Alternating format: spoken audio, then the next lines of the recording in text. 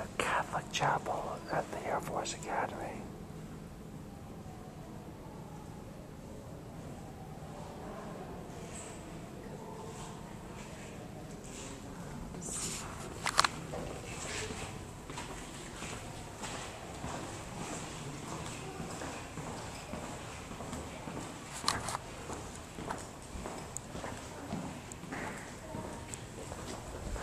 And now we're going to go upstairs to the main chapel of the uh, chapel at the U.S. Air Force Academy.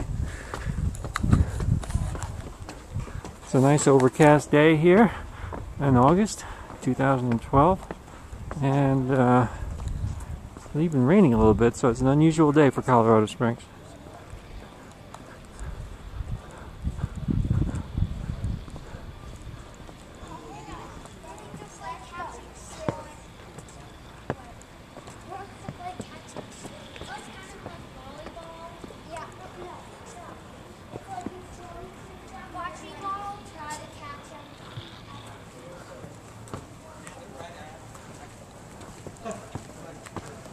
less than 6,000.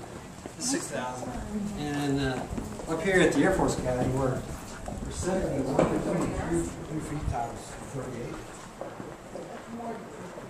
Three feet is like from my a lot